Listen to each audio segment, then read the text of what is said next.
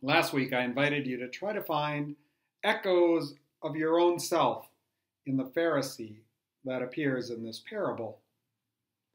If you, like me, were able to do that, were able to see the way that you set yourself off against others and look down on them, that is, break the unity within God's people by your own uh, contempt, then maybe now you are ready to see yourself also in the second character, the tax collector, the one who recognizes that he has fallen short. And so we're going to work on just the, the middle section of the parable. And uh, I suggest you pay attention to it. Pay attention to some of the interesting differences. For example, the Pharisee is off standing by himself in our translation, suggesting he self isolates.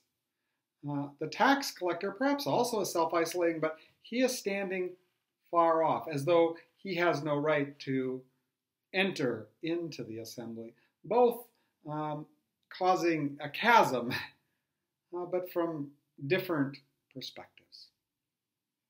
So let's listen to the attitudes of, of these two people.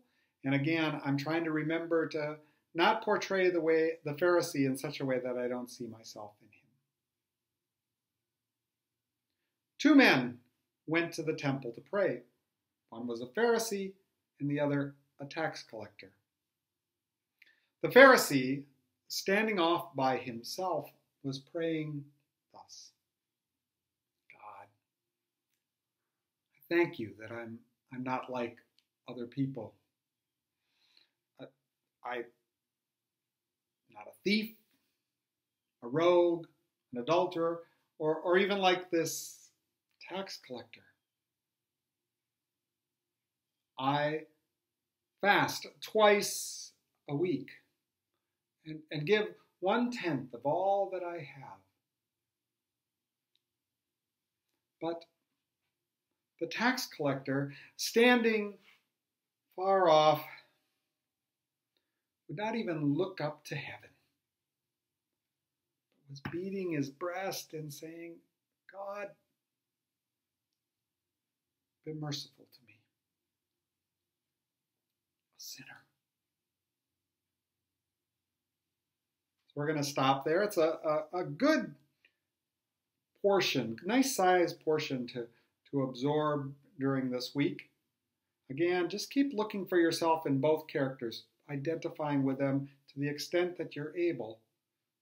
And maybe you'll hear a word from God from both those aspects of yourself.